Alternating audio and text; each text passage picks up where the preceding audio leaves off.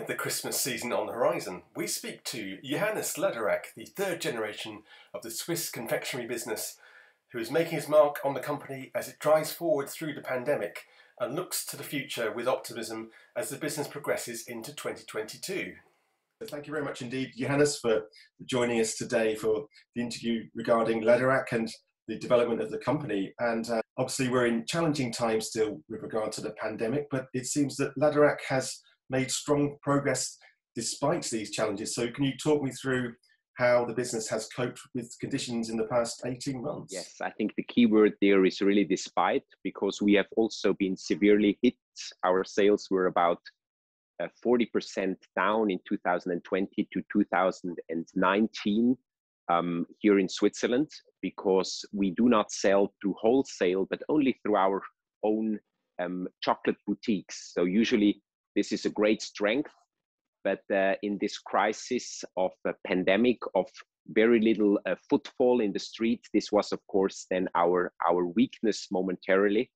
So we had a big lack of tourists. We had a, had a lack of business people because of less uh, business travel and because of the home office policy, which led to a big decline in sales. It was interesting though that it was very different situations. So in regional chocolate boutiques, we even had a growth during the pandemic because people tended to be more at home. And of course, then in the big cities, the train stations, airport, there it was it was a big challenge. But we tried to see the crisis as an opportunity. So we could really strengthen e-commerce within this crisis and we could even find um, more attractive locations for new chocolate boutiques. So we invested quite heavily in many um, new sites in Austria, in the UK, uh, in the United States. Uh, we've just opened Shanghai last week. And uh, of course, as you um, have heard, we also had the opportunity to take over these 34 stores of uh, the Godiva, former Godiva locations which we are now transforming into Läderach stores. So I think we will eventually look back at the crisis and says it was a big challenge, but it was also a blessing in disguise.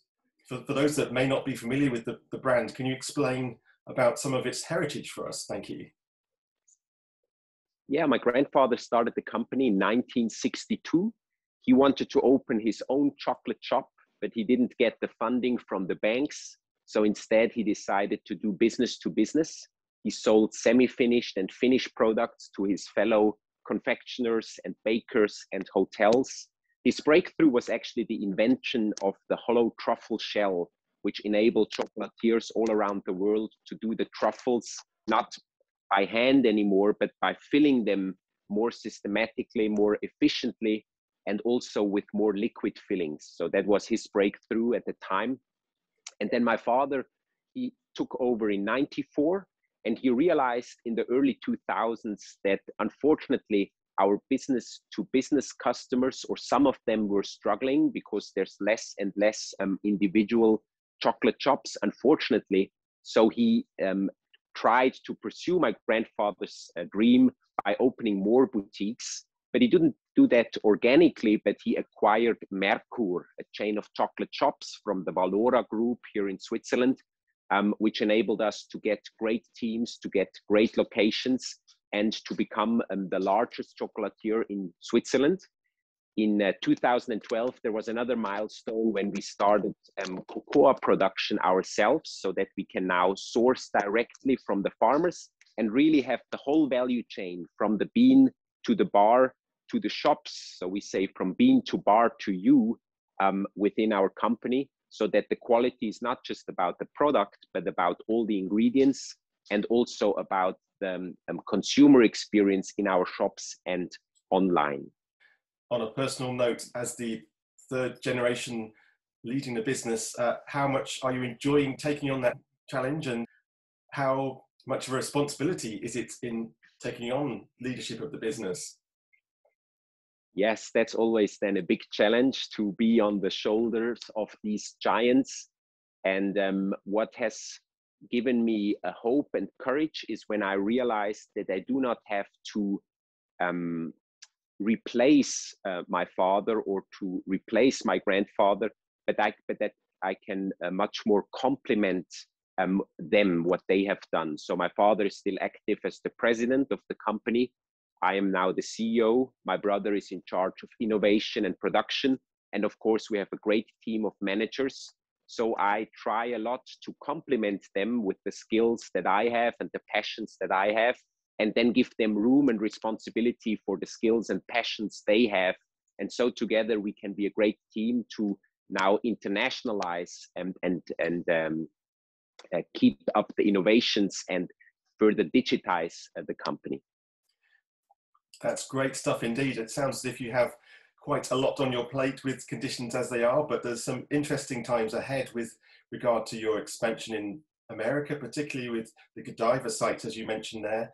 How much of a difference is it going to make to the business having those facilities? It's a huge opportunity for us because we get great sites, we get um, great teams. I think that's maybe the most important factors. You know, with us, branding is really about the people who work with us.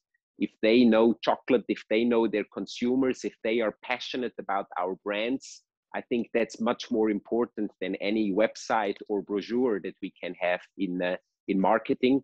And last but not least, these um, stores are already um, furnitured. So with relatively low investment, we were able to transform them into into Läderach stores. And just coming back to the pandemic itself, uh, can you explain, in your opinion, how consumer behaviour has changed in terms of their purchasing of, of chocolate and confectionery? yeah, the COVID crisis has probably accelerated the, the digitization and the push towards e-commerce. However, I still believe in the hybrid um, customer and consumer that he or she wants to buy sometimes online and sometimes offline. And offline, it's really about the experience that we offer, you know. So, and this is really one of the advantages of a Läderach store that you can experience the Läderach quality with all your senses, that you can already see the product through the window, that you can smell you, the product when you enter the store, that you then can uh, listen to the, um, the, the, the, the staff, how they explain and consult you what chocolate and which chocolate types are right for you, that you can even taste the chocolate within our stores and finally um, buy them and indulge at home. So I think there's really some pros to this offline world, but of course we want to combine it now with the pros of the e-commerce world and the online world. And this, this is a very exciting project and very exciting times ahead. But I believe that those um, channels will complement each other rather than competing with each other. Well, so uh, in terms of websites there, have your online sales gone up quite dramatically as with many other businesses in the past 18 months? yes, they have indeed um, gone up um, quite significantly. Um, it has to do with uh, COVID, it has to do with the general acceleration, and it also differs from country to country. So in Switzerland, where we have um, close to 50 stores, we expect to see a lower share of online because there's more um, accessibility throughout the country. Whereas in the United States, um, we have um, higher sales of e-com because there's um, less availability. For example, we don't plan to have physical presence in the Midwest in the United States, but the, the tourists from Midwest who have discovered us on Fifth Avenue, for example, they will always want to repurchase the products then online, which will lead to a higher share of e-com um, in these um, bigger geographical markets. Very good. And you mentioned about opening up in China, in Shanghai as well. And I know that is a market that's developing very quickly over the past few years. How excited are you about reaching locations like that? In China, we even went the other way around. So we started with e-com only because we knew and supposed that um, this would be important for us we have always been astonished how Chinese tourists had liked our products in Lucerne and Interlaken and other um, Swiss tourist cities. So we set up a small team of e-commerce specialists in Shanghai, and we were encouraged with the sales at our e-commerce store and also on Tmall and the like. So now, because of these figures, we decided to start our physical presence even earlier um, after one year of uh, e-commerce experience. How, can you explain how the COVID crisis has impacted on your manufacturing operations? Yeah, we're proud to uh, really have all our products Swiss made.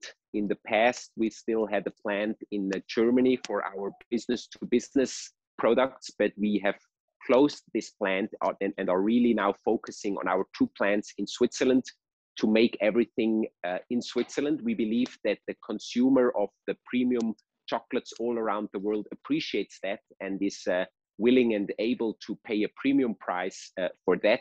So it's very nice to be in an industry where um, Switzerland is not just the, the, connotation of pricey and the high labor costs in terms of a, of a negative aspect, but that Switzerland is actually perceived as, as, as being an asset to the, to the brand. So we're very fortunate to be able to produce here in Switzerland. As to COVID, um, we have um, further tried to uh, streamline um, um many aspects of our production, but we remain uh, committed to a very artisanal approach um, of producing our products. If you look at our pralines, for example, they are decorated in a way that you cannot uh, use much machinery but that it really needs our specialists who do still a lot by hand and we're committed to to keeping that up. there and i get the sense that there's a real passion for innovation in terms of your products so can you discuss uh, sort of how you're developing your latest ranges at the moment? Yeah i absolutely agree with you. There's lots of uh, talk in the management um, uh, teaching you know about customer journey and about social media and omni-channel and all of that. And that's all um, good of course but we really must not forget the product especially not in the chocolate industry which i think is still the most important factor for for success. So my brother and i are really committed to keeping up the innovations we try to have two major um, innovations uh, every year the last two innovation slots have been a chocolate popcorn and uh, the chocolate tablets with um, special Grand Crus, um, high percentage chocolate. And uh, we're actually quite happy with both the latest um, innovations and look forward to the next um, big product innovation, which will take place um, end of September within our stores we don't look so much in the in the chocolate industry but rather try and be inspired in in other industries in terms of design in terms of consumer experience in terms of um, e-commerce digitization in terms of also store concept and store design. And we try to learn from that and implement that into into chocolate. If you take for example our signature product the FrischSchoggi um, there um, basically the idea was to have the presentation of cheese in a big counter uh, transferred to chocolate. And this is how our FrischSchoggi was born. So we're really looking to learn from other industries rather than our own industry. And uh, just casting your mind back to your own experiences with your family uh, was it a case that you were involved from a very young age with the business or did it just evolve naturally over time Yes, I literally grew up on top of the chocolate factory, a little bit like Charlie. Um, I, I, lived there until I was 12. I was uh, with my grandfather in the kitchen, so very nice memories there with him. Then, as a teenager, I could work already in production first and accounting and marketing and within our shops. So, uh, when I had finished my business studies um, in St. Gallen, I really um, felt like working with Läderach and I didn't want to go uh, elsewhere. So I really got a lot of opportunities and a lot of responsibility at the relatively young age, which I um, think was a great experience. And I would I would redo it again in the yeah. same way. It's I enjoy the most working with uh, with people and trying to um, transform um, sorrows into hope. That's one of the most fulfilling things for me when you get into a situation and people are down or there's a conflict or, or they're confused and then to share information, to share ideas, to bring together different people within the company, to make the different countries learn from each other, and then to see a solution evolving out of this discussion and um, uh, hope uh, being there again. That this is one of the most fulfilling things for me uh, personally. So, uh, where next in the development of the company? Where do you see it going in the next few years? Because you're now in over 100 locations. Uh, yes, after the um, Godiva transformation, there will we will be uh, at close to 140 stores, and I think we, we, we, will, we will be able to grow further in the in the next years. Um, we don't plan to. Um, focus too much on growth and numbers and all of that. But I always tell my team, let's rather focus on improving innovations, on improving consumer experience, on improving um, e-commerce and all the digital challenges uh, and all the digital um, opportunities, excuse me, and then the success will follow. And then automatically there will be a growth in sales and there will be um, probably also a growth in, in boutiques, but this is not what, what comes first in, in, in our thinking.